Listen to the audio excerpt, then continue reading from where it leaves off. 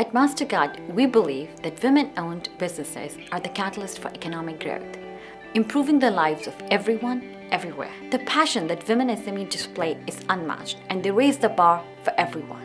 And that's why MasterCard, along with Entrepreneur Middle East, has curated the first ever MasterCard Women SME Leaders Awards. This is to recognize and celebrate the women entrepreneurs in the Middle East and Africa region.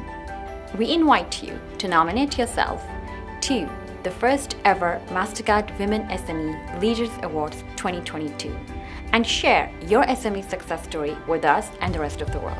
Thank you.